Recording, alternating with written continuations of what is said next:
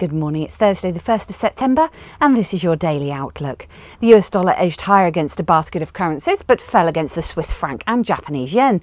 Economic data from the US surprised the markets yesterday after it revealed that factory orders rose 2.4% in July, the highest figure in four months. ADP employment change was also released, showing a slightly weaker than expected figure of 91,000 expansion of the private job market. The number is in line with tomorrow's non farm payrolls expectations of a 90,000 growth. Against the Japanese yen, the dollar jumped to 77.23 from 76.42 after dollar purchases by Japanese and US accounts, easing fears of another intervention by the Bank of Japan. Against the Swiss franc, the greenback shed 2.6%, falling to 0.7993 from 0.8208 after a government official said that, Swiss, that Switzerland would have to live with a stronger currency. Focus turns to the initial jobless claims now. The euro dropped yesterday, weighed by renewed concerns over the eurozone debt crisis. Further pressure on the single currency was economic data that showed unemployment rate rose to 10%.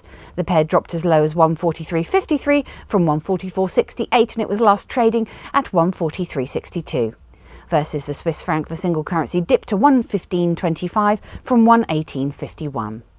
The Australian dollar advanced broadly after a better than expected retail sales and capital spending data. Against the dollar, the Aussie edged as high as 107.21 from 106.51.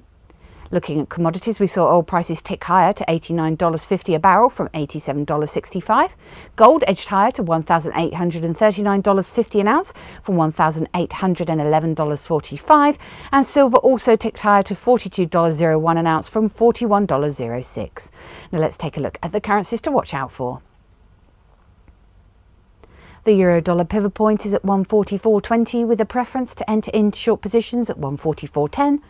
The dollar yen pivot point is at 77.10 with a preference to enter into short positions at 77.05. The Aussie dollar pivot point is at 106.60 with a preference to enter into long positions at 106.60. The sterling dollar pivot point is at 162.95 with a preference to enter into short positions at 162.85 and the dollar CAD pivot point is at 0.98 with a preference to enter into short positions at 0.98. Now having a look at commodities, the oil pivot point is at 87.65 with a preference to enter into long positions at 87.65.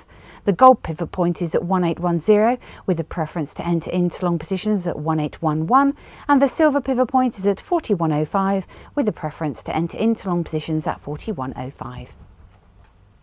On today's calendar, the market movers are the Swiss retail sales in July forecast to gain 4.6%, Europe PMI manufacturing in August forecast to rise to 49.7, UK PMI manufacturing in August forecast to fall to 48.6, US initial jobless claims forecast to fall to 410,000, and US ISM manufacturing forecast to fall to 48.5.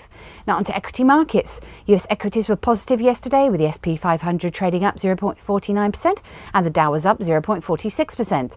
European bourses were also positive with the FTSE up 2.39%, the DAX was up 2.50% and the CAC was up 3.07%. At the time of writing, the Nikkei was up 1.18% and the Hang Seng was up 0.81%. This has been your Daily Outlook. I'm Emma Andre from the Easy Forex Dealing Room. Have a good day.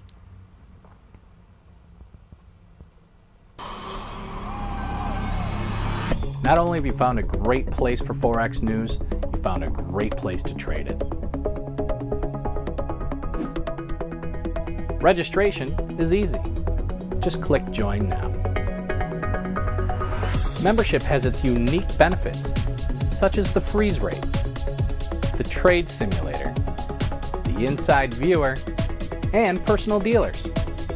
Your personal account manager waiting for you now.